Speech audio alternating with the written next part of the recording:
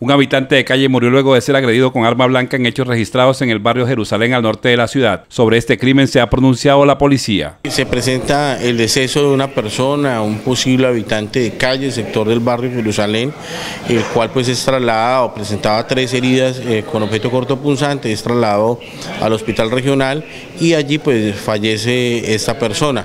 Dentro de las labores previas que se adelantaron en el lugar se logró la individualización de un posible agresor, el cual pues está haciendo información cotejada a través de Policía Judicial para ser eh, informada a la Fiscalía General de la Nación, pues para que se desarrolle la respectiva investigación. La víctima alcanzó a llegar con vida al Hospital Regional del Magdalena Medio, pero la gravedad de las heridas recibidas provocaron su deceso. Es un caso que se desarrolla dentro de habitantes de calle por una situación de intolerancia, eh, al parecer por el, consumo de alguna sustancia estupefaciente y finalmente pues desencadena una discusión, una riña en la cual eh, fallece esta persona. Estamos a esperas de la identificación plena del cuerpo a través de medicina legal. Se presume aproximadamente de 25 a 28 años de edad, pero pues ya la, información oportuna de la identificación plena nos la dará el Instituto de Medicina Legal. El gobierno local y las autoridades de policía muestran su preocupación por el alto número de riñas que se registran en la ciudad, hecho que obligará a adoptar medidas drásticas por parte de estas autoridades.